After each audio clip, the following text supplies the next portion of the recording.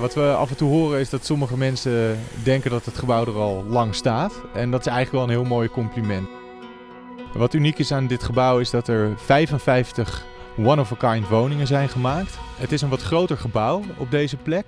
En uh, dat is uh, niet direct voorstelbaar, maar hoe we dat hebben aangepakt is dat we aan het Spaarne uh, het gebouw groot en robuust hebben laten zijn met grote puien. En juist aan de buurtkant hebben we het gebouw wat lager gemaakt met heel veel aandacht voor metselwerkdetaillering en wat geslotenere gevelvlakken.